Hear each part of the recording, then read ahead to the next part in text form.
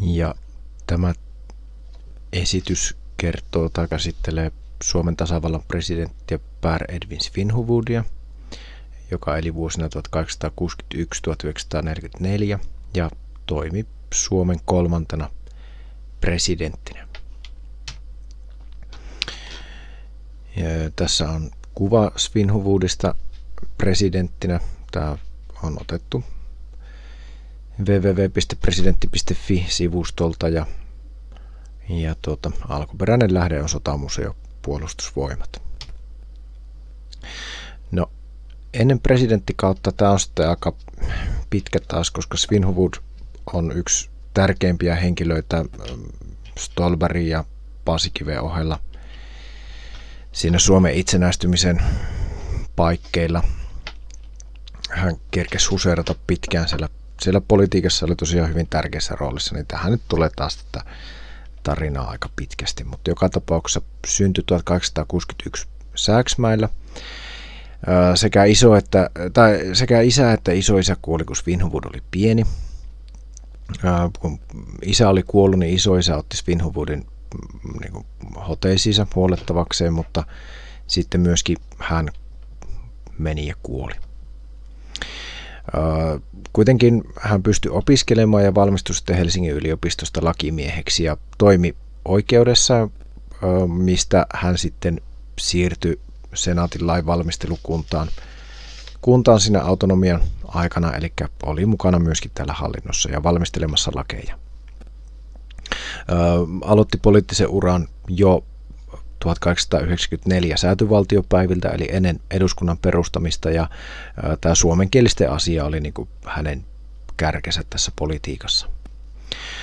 Näkyvän roolin sai sitten helmikuun manifestin jälkeen 1899, ja silloin Svinhuvud sitten muuttui hyvin jyrkästi tämmöiseksi perustuslailliseksi, eli siis puolusti näitä autonomisen Suomen lakeja ja vastusti näitä venäläistämistoimenpiteitä ja kärkenä oli nimenomaan tämä niin kuin sen aikainen lainsäädäntö ja näkökulmana se, että keisarilla ei ole oikeutta, oikeutta niin kuin puuttua siihen Suomen autonomiaan, että sitä ei saa rajoittaa, että hallitsijan vakuus niin kuin estää sen. Ja tietysti sitten kaiken pohjana on se Aleksanteri ensimmäisen ensimmäisen tota, lupaus silloin, tai valaa silloin Porvon valtiopäivillä, kun Suomi liitettiin Venäjään.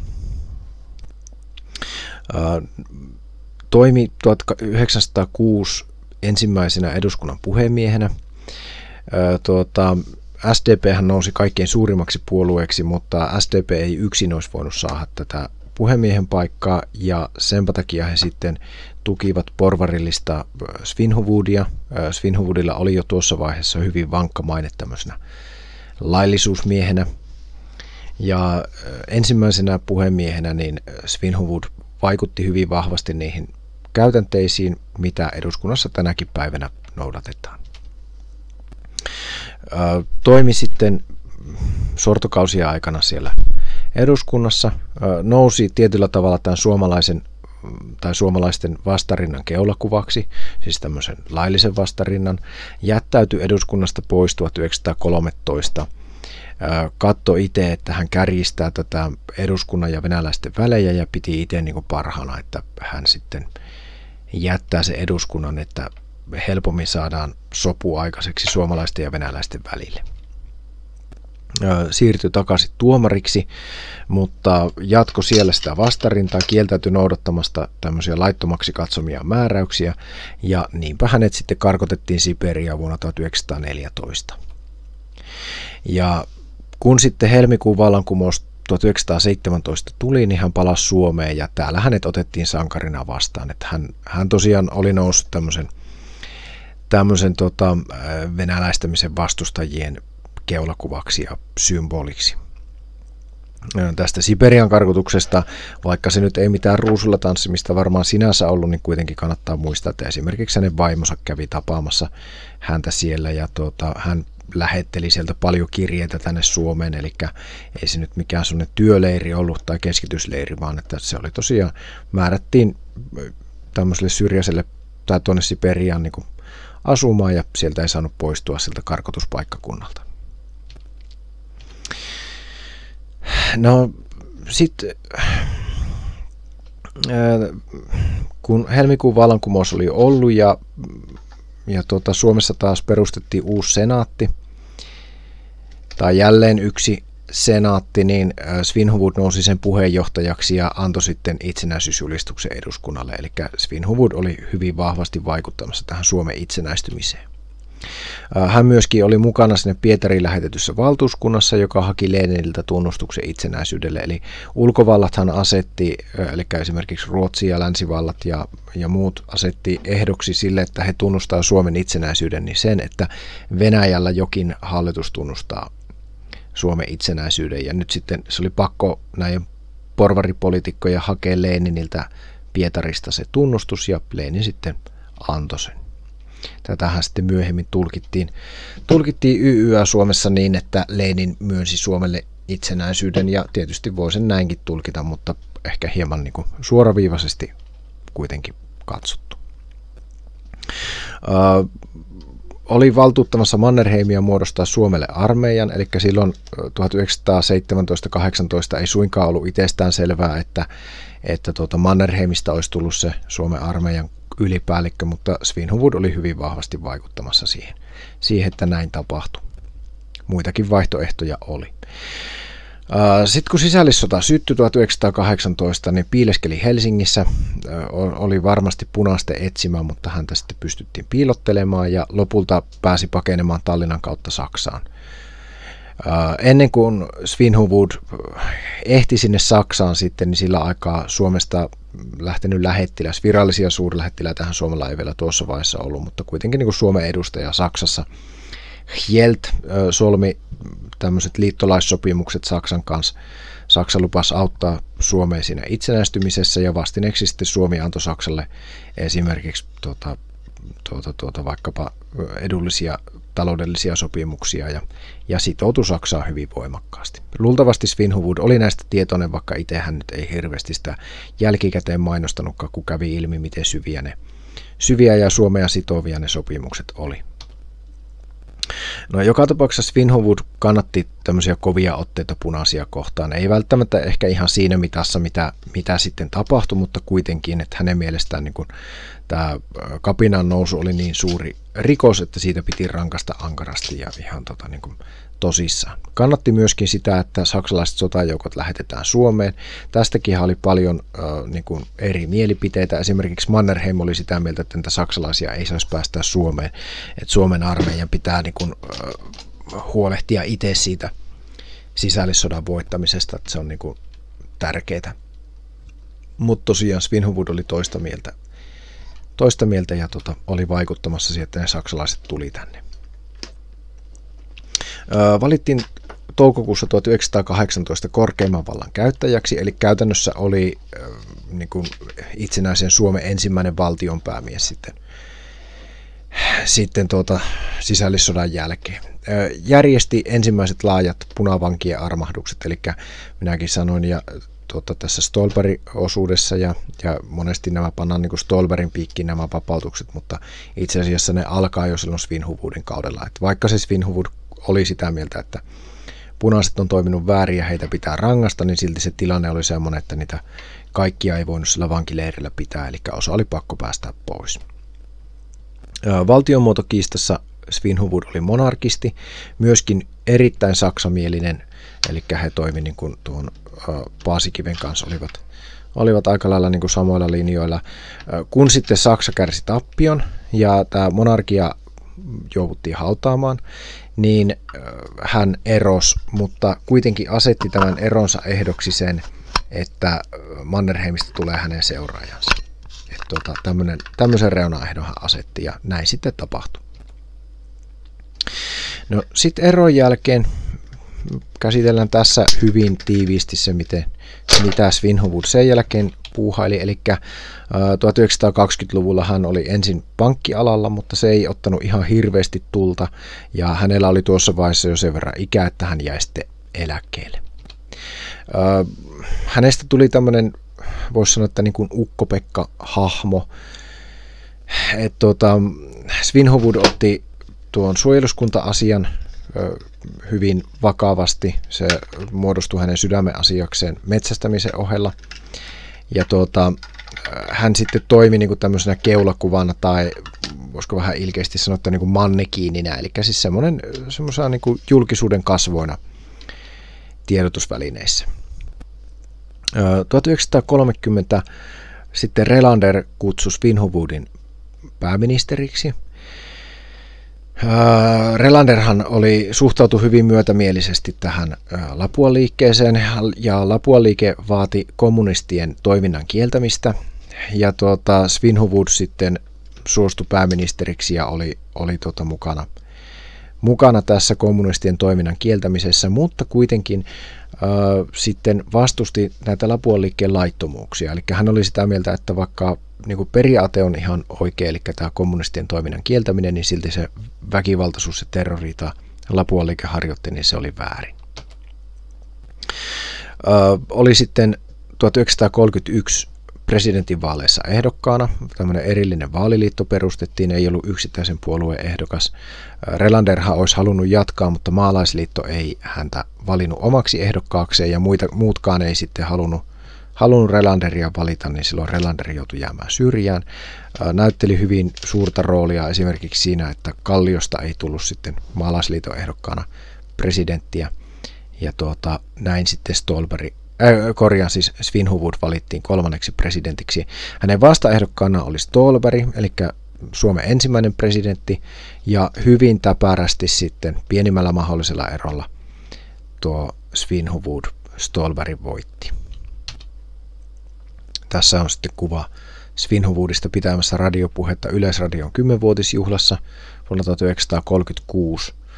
Tämä on otettu finna.fistä, Lappeenrannan museon Kotkaniemi-kokoelmasta.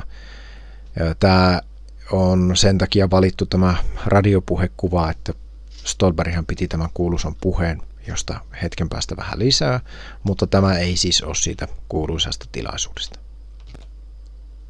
No, presidenttinä Stolberg, äh, korjaan Svinhuvud toimi vuosina 1931-37.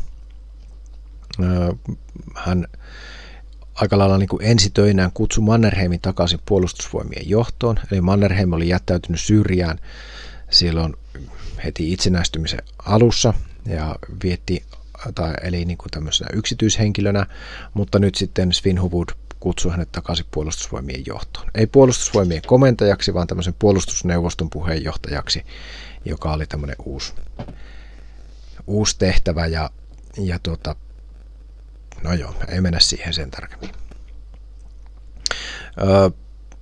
Sitten jo heti kohta Svinhuvudin valinnan jälkeen 1932 Lapuan liike järjesti Mäntsälän kapinain ja Lapuan liike oli asettanut toivonsa Svinhuvudiin. Ensinnäkin he oli toivonut sitä, että Svinhuvud niin kuin muuttaa sitä yhteiskuntaa siihen suuntaan, kun Lapua liike toivos.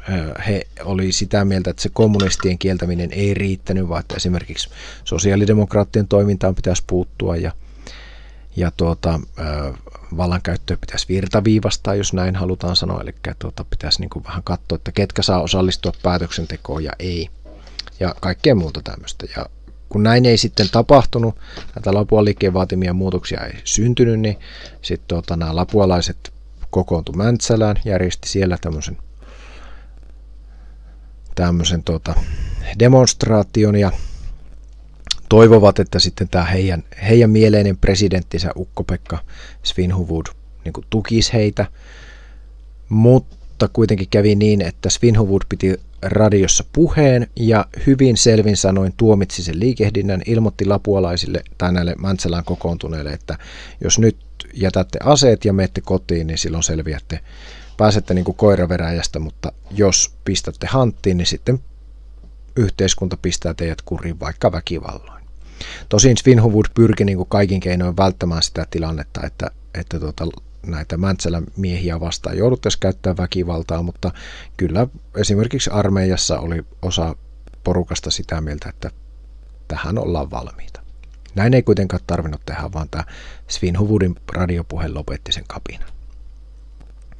Ja tässä mielessä niin kuin Svinhuvud on hyvin merkittävä, että vaikka hän oli hyvin oikeistolainen ihan, ihan niin kuin selkeästi ja ja näin, niin kuitenkin tota, hän pystyi sitten vakauttaa sitä sisäpolitiikkaa, että hän sai sen oikeistoradikalismin äh, niin kuin suitsittua.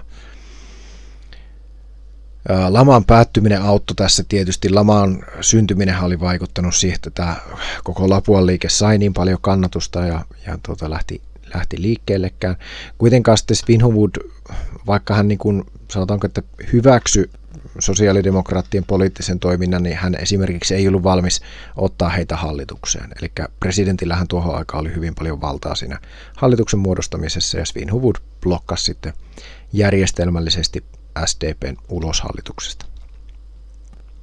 Ulkopoliittisesti Svinhuvudin kaudella suhta, suuntauduttiin tuonne Pohjoismaihin. Kuitenkaan Svinhuvudkaan ei tehnyt yhtään virallista valtiovierailua, että hän ei, ei tuota, lähtenyt ulkomaan reissuille. Käytti hyvin laajasti sitä sisäpoliittista valtaansa ja niin kuin sanottu, niin tosiaan esti sen SDPn pääsy hallitukseen. Maalaisliiton Kallio olisi ottanut heidät, heidät mukaan pääministerinä, mutta Svinhuvud sitten, sitten esti sen. Ja tämä sai sitten SDPn niin kuin vuoden 37 vaaleissa varmistaa sen, että Svinhuvudia ei valittaisi uudelleen. Eli SDP tiesi, demarit tiesi sen, että niin kuin heidän ehokkaansa ei missään nimessä tule voittamaan, että seuraavakin presidentti tulee olemaan porvari, niin he ajattelivat, että tuota, sitten Svinhuvud on ikään kuin se suurin paha ja valitaan sitten joku vähän pienempi paha, vähän yhteistyökykyisempi porvari sinne, sinne presidentiksi. Ja kun tuota, tuon, tuon Svinhuvudin vaalilause oli, olikin, että Ukko-Pekka uudelleen, niin, eli tuota, että valitaan toisen kerran, niin sitten SDP koiranleuvat lisäsi siihen, että Luumäelle, eli tuota, tänne Svinhuvudin Svinhuvudin asuinpaikalle takaisin. Tässä kuvaa sitten Svinhuvudin toisesta lempiharrastuksesta suojeluskuntatoiminnan lisäksi, eli metsästyksestä. Tässä on 34 Kytäjän kartanossa metsästämässä. Finna.fiistä löytyy tämäkin kuva Hyvinkään kaupunginmuseon Aulis Saviahon kokoelmasta. No sitten presidenttikauden jälkeen vetäytyi yksityishenkilöksi. Svinhuvudhan oli jo huomattavan vanha tuossa vaiheessa. Hän jatkoi sitä suojeluskuntien sanotaanko mannekiinina toimimista, eli siis tämän, hän, hän niin kuin, tuota, hyvin voimakkaasti liputti suojeluskuntatoiminnan puolesta. Samaten metsästyksen puolesta se oli, hän oli hyvin ahkera metsästä ja kuoli vuonna 1944 jatkosodan aikaan. aikaa ja tuota, jos sota ei olisi ollut, niin olisi varmaan ollut hyvin näyttävät hautajaiset. Nyt niitä sitten jonkun verran, jonkun verran tuota, niin kuin jouduttiin pienentämään niitä juhlallisuuksia, mutta kuitenkin ne merkittävät juhlat oli nekin. No, Svinhovudin poliittisen uraa aikaan tapahtui aika paljon kaiken näköistä. Esimerkiksi kielikysymys oli hyvin tärkeä. Svinhovud oli kiihkeä suomalaisuusmies. Ei kuitenkaan ihan kiihkeämmästä päästä, että esimerkiksi presidenttinä hän ei sitten niin kuin, ää, tuota, vaikka silloin 30-luvulla oli, oli paljonkin poliitikkoja, jotka olisi halunnut pienentää ruotsin kielen asemaa, niin kuitenkin sitten Svinhuvud vältti sitä. Sortokausilla ei kuulunut varsinaisesti näihin aktivisteihin, mutta nimenomaan tänne perustuslaillisiin ja siellä siihen jyrkkään siipeen oli tota hyvin niin kuin voimakas tekijä ja tämmöinen vastarinnan, niin kuin tämmöisen laillisen vastarinnan keulakuva. Itsenäistymisen yhteydessä oli senaatin puheenjohtaja, tosiaan antoi antoi jopa tämän itsenäisyysjulistuksen eduskunnalle. Sisällissodan aikaan kannatti Saksa suuntausta, kannatti kovia otteita punaisia kohtaan, mutta kuitenkin sitten armahti niitä punavankeja silloin sodan jälkeen, eli, eli tuota, pystyi myös niin kuin näkemään tämmöisen, tämmöisen tuota, järjen tässä. Se, se ei mennyt hänellä niin kuin kuitenkaan yli. Valtiomuotokiistassa oli monarkistien johtohenkilöitä ihan yksi tärkeimpiä. Lapuan liikkeessä kannatti niitä ajatuksia, mutta vastusti laittomuuksia. Ja tätä ei Lapuan liike teki siinä virheen, että he ei niin kuin ymmärtänyt tätä. He kuvitteli, että se Stolberg on, on niin kuin valmis, äh, valmis tukemaan heitä enemmän kuin sitten tapahtui on mahdollista, että jossain määrin se Relanderin myönteinen suhtautuminen Lapuan liikkeeseen niin kuin hämäs, hämäs niitä, että ne kuvitteli, että no sitten se Svinhuvud se vasta onkin heidän puolellaan. Lamakausi päättyi silloin Svinhuvudin kaudella. Tietysti voidaan kysyä, että onko kyse, äh, tota, niin kuin, onko nyt Svinhuvudin ansiota tämä vai, vai tuota, tämmöistä yleisen maailmantilanteen paranemista, mutta ainakaan hän ei onnistunut estämään sitä lamakauden päättymistä, että sanotaan näin. No Svinhovudin merkitys noin niin kuin kokonaisuutena ajatellen Suomen historian kannalta, niin yksi tärkeimpiä on se, että hän on tämä suomalaisen vastarinnan keulakuva silloin sortovuosina. Et se oli silloin omana aikana, niin hän oli hyvin merkittävä hahmo siinä ja se on äärimmäisen tärkeä rooli. Ja sen symboliarvonsa vuoksi hän sitten nousi sinne itsenäistymisen johtajiin, oli yksi tärkeimpiä poliittisia johtajia silloin, kun Suomi itsenäistyi. Toimi tietysti tässä monarkia- ja Saksa-suuntauksessa, oli siinäkin johtomiehenä ja niin kuin hävinneellä puolella. Että tämäkin pitää muistaa tietyllä tavalla sitten, sitten jatkossa leimas häntä. Sitten sotien välisenä aikana hyvin tärkeä tämmöinen suojeluskuntien keulakuva, tämmöinen Ukko-Pekka hahmo. Ja tuota, se oli silloin omana aikanaan hyvin merkittävää, nykyään tietysti meille vähän vähemmän jo. Mutta kuitenkin, äh, vaikka hän tosiaan oli tämmöinen oikeistolainen porvari ja, ja tuota, hyvin niin kuin mm, vasemmisto vastainen, niin siitä huolimatta hän säilytti kuitenkin sen laillisuuden, että vastusti sitä Lapuan liike, liikkeen laittomuuksia ja, ja ennen kaikkea se, että se Mäntsälän kapina tukahdutettiin ilman asevoimien käyttöä. Että siinä olisi ollut vaara, vaara tarjona, että olisi syttynyt sisällissota tai tapahtunut vallankumous ja, tai vallankaappaus. Ja, ja tuota, se on Svinhuvudin ehkä suurin tämmöinen yksittäinen ansio. Ja tuota, tuota, tuota, et hyvin tärkeä henkilö siinä ennen sotia Näin. Ja lähteenä on käytetty kansallisbiografian henkilökuvaa ja sitten myöskin tuota Wikipediasta Svinhuvud-artikkelia. Tässäpä Svinhuvudista.